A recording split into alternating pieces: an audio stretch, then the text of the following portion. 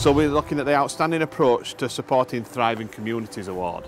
Okay, and this is again about an award for an activity, a community group, which is presented to, to those who make really improvements for people's lives, a real difference in there. And it could be a long-term difference or a, a one-off project.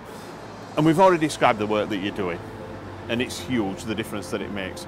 Not just about making a real difference by putting food parcels and putting food in, in people's mouths, but also the difference that that makes to how they feel. Yeah?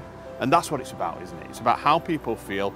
And you guys, by the work that you're doing, are improving people's lives. And I, I think it's a real credit to you, and we are absolutely grateful of that. And more importantly than that, the people in and around this community are really grateful for you for that. So, because of that work and in recognition of that work, we want to award you the Outstanding Approach to Supporting Thriving Communities Award. And this is the overall winner. So this is not a second place or a third place. This is an actual you are the outright winner of that. So be massively proud of what you've done massively proud of what you've achieved and it's with real pleasure that I give you this award. Thank you.